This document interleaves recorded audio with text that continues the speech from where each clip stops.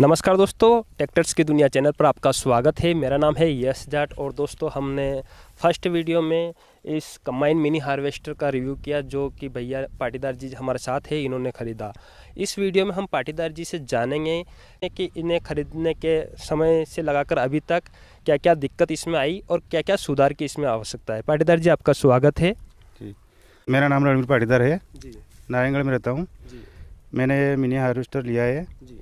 इसमें चलने में कोई परेशानी नहीं आ रही है लेकिन इन्होंने टेक्निकल जो बनाया है जी। इसका थोड़ा अंदर से थ्रेसिंग का थोड़ा मिस्टेक है। जी। इनको सुधार ये करना चाहिए कि जैसे इन्होंने शुक्ला उठाने की जो फ़ैन लगाया है जी। उसको एक तो डबल शाफ्ट में करना पड़ेगा इसको जी।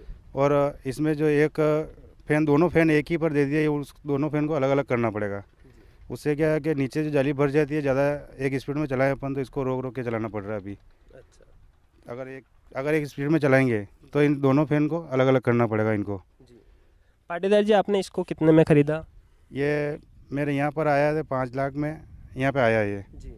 मतलब किराया भाड़ा सब करके पाँच लाख में हमको यहाँ पर घर पे फिट हुआ है। अच्छा घर पर आके फिट किया इसको। जी। पाटीदार जी कितना डीजल ये खाता है? ये अभी एवरेज पाँच लीटर के समथिंग डीजल खा रहा है एक घंटे का। अच्छा। हाँ। और आप जब इससे किराए पर चलाते हैं तो कितने समय में कितनी फ़सल को ये काट देता है? ये अभी लगभग सवा घंटा या डेढ़ घंटा में एक बीघे की फ़सल काट रहा है। जी अच्छा।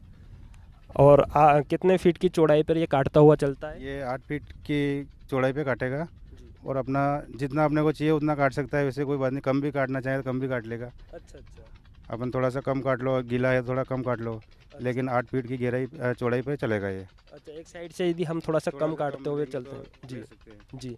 पाटीदार जी हमें ये भी बताइएगा कि इसे जैसे कि मेरे होती है मेड़े जो जिसे बोलते हैं या फिर पारिया जो होती है हाँ। वहाँ पर इसका काम किस तरीके का है? उसमें अपने को थोड़ी चलाने में प्रॉब्लम आती है लेकिन काटने में कोई दिक्कत नहीं आती है उसको थोड़ा रोक रोक के चलाना पड़ता है। थोड़ा डाउन करके रख रखना पड़ता है क्लेच को दबाना पड़ता है।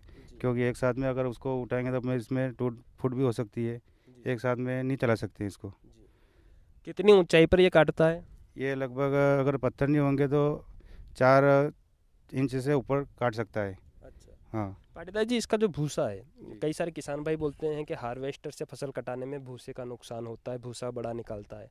आपकी क्या राय है? नहीं इसमें भूसा तो बिल्कुल अपने थ्रेसर जो अपने टोकरी मॉडल थ्रेसर है ना वैसे ही भूसा निकलता है।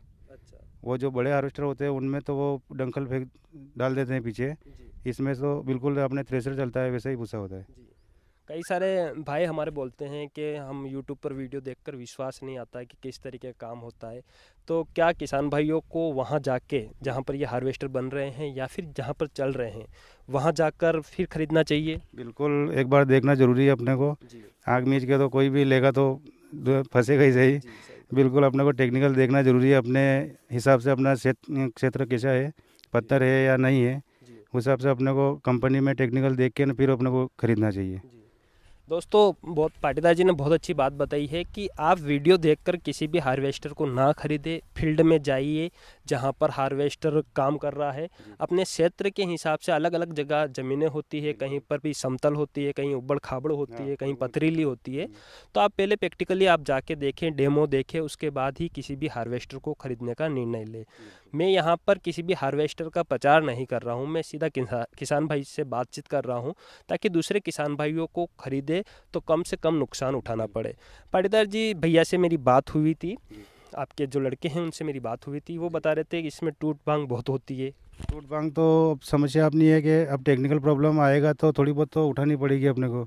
जैसे उसमें क्या है कि अब जैसे आगे ये जो इन्होंने दिया है ये लोडर इसमें सपोर्ट नहीं दिया है। अच्छा। अब ऐसी कुछ छोटी मोटी परेशानी आती है तो अपने को उठाना ही पड़ेगी अभी आपने इसको एक दो महीने तक चलाया है। उसके बाद आपको इसमें क्या क्या नुकसान उठाने पड़े? इसमें नुकसान तो जैसे अपने गेहूँ टूट रहे थे उसकी समस्या अपने को निकालनी पड़ी है। जब अपने को इससे अलग से इसको दस से पंद्रह हज़ार रुपये खर्चा अपने को अलग से लगाना पड़ा इसमें। तो टेक्निकल सुधार फिर हुआ है थोड़ा बहुत। अच्छा। इसमें आपको क्या क्या सुधार की आवश्यकता लगती है अपने जो नीमच मंदसौर जो मध्य प्रदेश का एरिया है इसके हिसाब से? अपने को वही बताऊँगा मैं कि अपने थ्रेसिंग में जो अपने को एक इन्होंने कटर डाल रखा है एक तो ऊपर का जो ढक्कन दे रखा है इसमें दो पार्टीशन में चाहिए अपने को। इसमें उठाने में बहुत परेशानी आती है कुछ भी थोड़ा सा भी टूट फूट हो जाती है तो उसको उठाने में परेशानी बहुत आती है। उसमें एक तो अलग अलग ढक्कन चाहिए कटर तो हालाँकि उन्होंने दो दे रखे हैं अंदर लेकिन वो उसमें फ़ैन अलग अलग चाहिए दोनों। अच्छा। दोनों डबल शाफ्ट में फ़ैन चाहिए इसमें। जो थ्रेशिंग अपने जो टोकरी मॉडल में थ्रेशर होता है उस हिसाब से फ़ैन चाहिए। जाली पर से भूसा उठाने वाली टेक्निकल चाहिए इसमें। अच्छा। जी। पाटीदार जी, एक सवाल और मेरा ये रहेगा। आप ईमानदारी से बताइए कि जो नए किसान भाई इसे ख़रीदना चाहते हैं, जिन्हें इसका अनुभव नहीं है तो उनको इस तरीके के कंबाइन हार्वेस्टर ख़रीदना चाहिए या फिर अपना जो काम है किराए से चला लेना चाहिए या फिर बड़े जो हार्वेस्टर आते हैं, वो ख़रीदना चाहिए?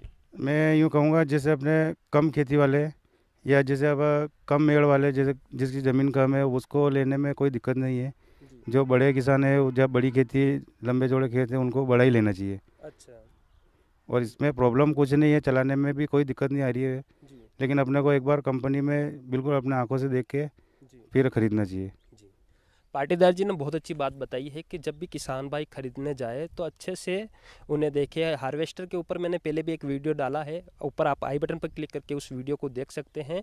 और जब भी किसान भाई इस तरीके के जो 10-15 लाख रुपए का जो प्रोजेक्ट रहता है, उसे खरीदने से पहले अच्छे से रिसर्च करे, सब तरफ़ अच्छे से देखे, उसके बाद खरीदे।